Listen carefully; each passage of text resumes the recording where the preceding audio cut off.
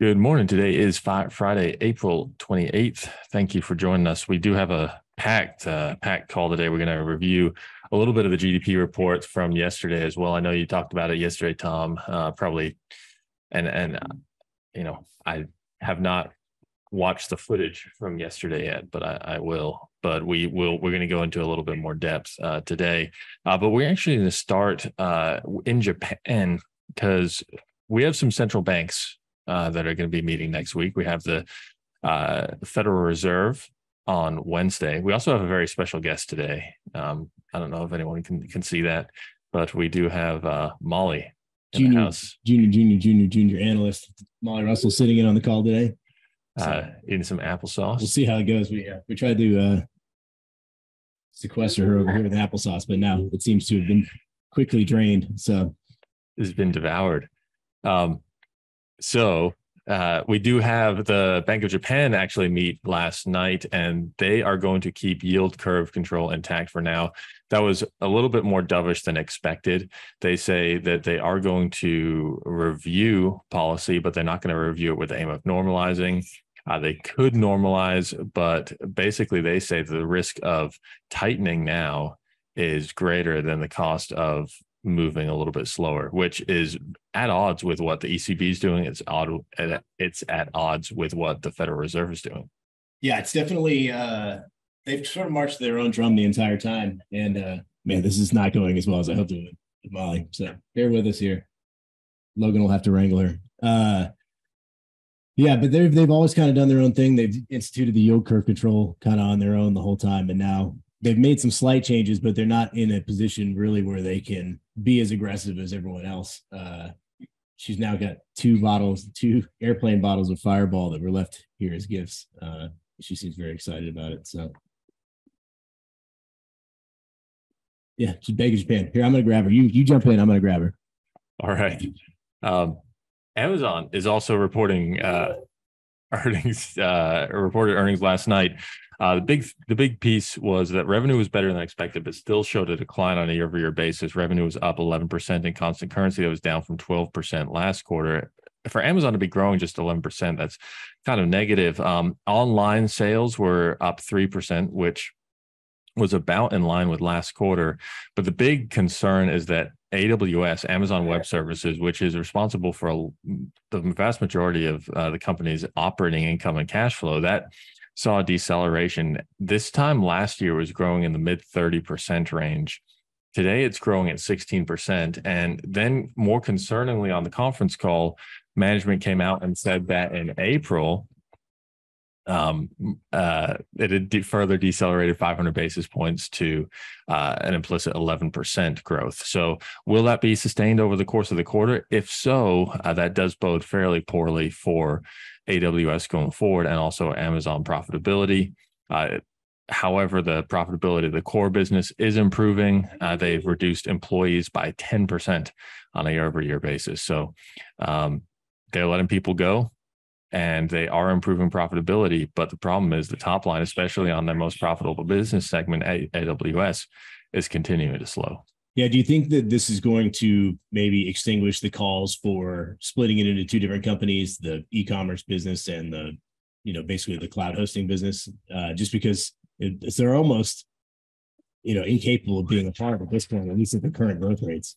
Yeah, I mean, I think that they um, one needs the other. You know, AWS uh, the the the big e-commerce business helps to um, is really the growth engine or supposed to be the growth engine. And then AWS is kind of the cash flow cash cow that funds a lot of these other projects. But uh, if AWS is slowing, you have a little bit of a cat less of a cash cow, but you still need it. Yeah. So I, I don't think it'll um I don't I don't think that'll change. Now the question is what are we doing in portfolios with Amazon? We do hold Amazon and we will continue to hold Amazon. I think that um the issue for Amazon is that they are behind Microsoft in terms of actually growing their their cloud business and reaching a bottom on that. The way the cloud works is that their customers, if you're a customer, you optimize your cloud spend. So uh, you and and you work with the cloud service provider to do that. So they're doing that. Microsoft was very early in doing that, Um, Google and Amazon were a little bit slower on that. So that's why Google and Amazon are continuing to see declines, whereas Microsoft has kind of hit that trough. Uh, Amazon is also losing a little bit of share at the margin to Microsoft. Um, having said all that, you look forward into the back half of the year and assuming the online commerce doesn't slow even further, I think that we're probably looking at a little bit of an improvement in Amazon in the back half of the year. You do have um, AWS that's going to have easier comparison periods, and you're also going to have a retail business that is looks like it's stabilizing out and becoming a lot more profitable. Um, they have cut a lot of costs there. Their headcount's down 10%. So I think on some of those aspects, Amazon is, um, you know, maybe only just a quarter or two away from really clearing some of this uh, debris that arose out of the pandemic. Yeah, I think all things being said, the fact that it's only down 1%, I think is a pretty good sign. I mean, typically, I feel like if Amazon Web Services had had an issue in the past, it would have been potentially a double digit down day, whereas, you know, the market is is understanding of the issue uh, and giving them a little bit of leeway in terms of price action today. And and here's the thing: the stock was up, I think, ten or eleven percent after they reported earnings. Um, and then when they said they were comping down 500 basis points in April, that's when the stock erased all of those gains.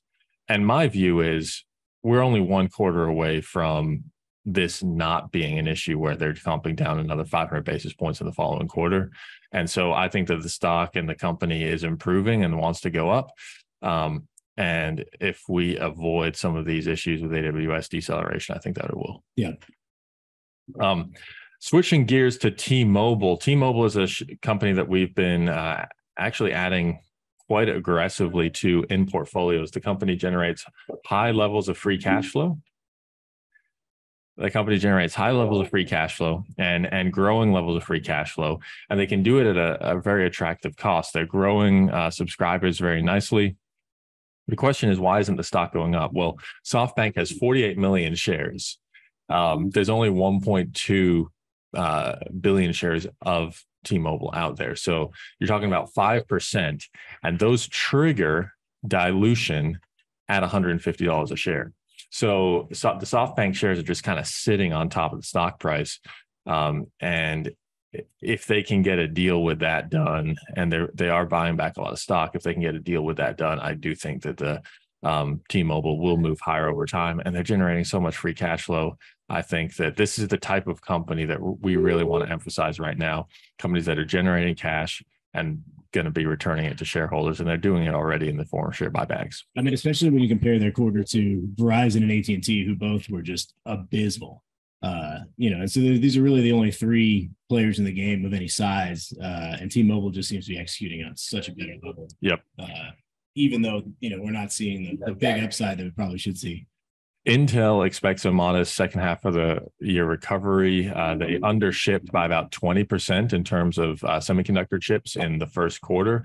And so they think that inventory will uh, begin to kind of trough out here in the second quarter, which sets the stage for modest growth in the second half.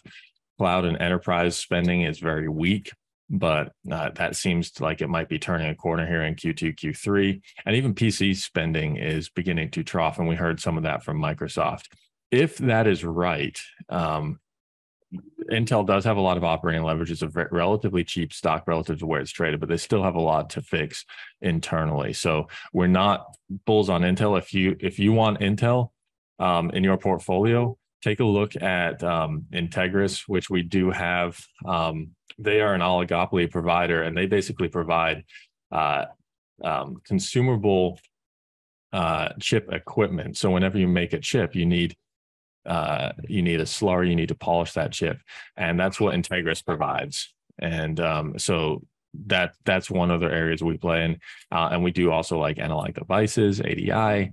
Um, they're seeing really good strength on the auto and industrial side. So uh, that's how we're looking at semiconductors. We do have some NVIDIA as well, although it's fairly high valuation.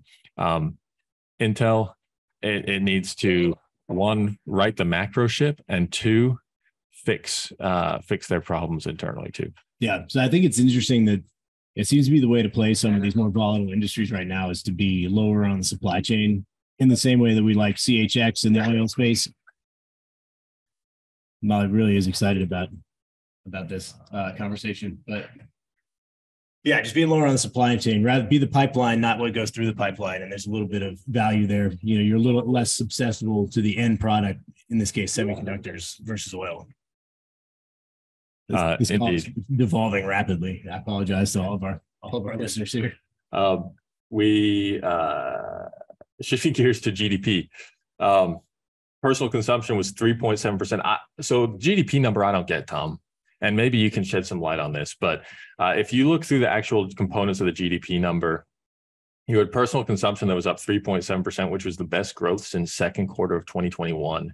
Uh, you had private investment that was down because of a big, big, big inventory reduction. Government spending was actually the fastest since the first quarter of 2020. I mean, that, that, that blows my mind. I just don't believe that. Um, and so if you look at it, uh, it was really goods spending that drove the economy in the first quarter. Uh, and a lot of that was driven by motor vehicle spending. So um, services was actually kind of in line. It grew about 2.3%, not, a, not great growth on the services side. Um, and a lot of that was due to healthcare. So I think my philosophy, my thinking is that uh, goods has been actually weak in first quarter. Services has been relatively strong, um, but the goods was massively inflated in this GDP number relative to what I think the underlying is. And so I think that the GDP number was probably inflated by that as well. On the other side, you did have a big inventory draw, which which might offset that. Yeah, I thought it was interesting too. We kind of went through the the details on the fly yesterday on the call, but the the standout that there was such a big move in in vehicles that it somehow had goods being the driver did Mhm. seem confusing, and the the numbers were not quite there. So, you know, I would say that we're probably, you know, where would you put real GDP? Closer to fifty basis points, maybe a, a full half percent lower. The the the tricky thing is, I, I would say probably a half percent lower uh, than where where we came out. Uh, because the other thing is, you had inventories being a 226 basis point drag. Um, you had inventories being You yeah, that you had inventories being a 226 basis point drag uh, on GDP, um, and uh, you know that was that was the big driver of the decline in private investment. Um, overall, market view right now is that there are four types of companies reporting earnings. Number one, and we'll talk about this in the market memo today. Uh, some com- companies have made the cuts and have taken the medicine. I would put Microsoft, Meta, and Intel in that. Maybe even some trucking and semiconductor stocks. Um, other companies have a little bit more favorable operating backdrop, but we don't really know exactly where they're they're going to land out, and that's airlines, things like General Motors, Deere, Caterpillar, uh, energy companies. Some are just operating dynamically, responding to the environment as they see it, which is like Amazon, Google, J.P. Morgan, for example, and then some are a bit lost. Um, and these are the lost companies are often good companies but uh, kind of been diluted into thinking that they're such great companies that they don't really have to worry about the macro. And that includes UPS, that includes Thermo Fisher, and also includes a company called Enphase, which is a big supplier of microinverters for the solar industry.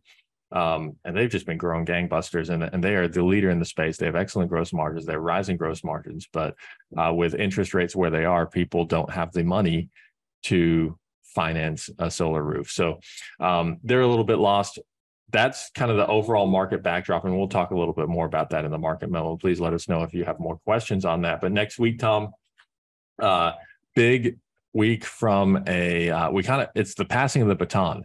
So whether this week was about 120% earnings capacity, like relative to our capacity, 120% uh, on the, on the earnings side. Next week, it's going to, you're going to start to see a handoff. Maybe we're going down to about 60% on the earnings side but we're ramping up big time on the economy side. We have the Federal Reserve meeting, we have the ECB meeting, we have the jobs report.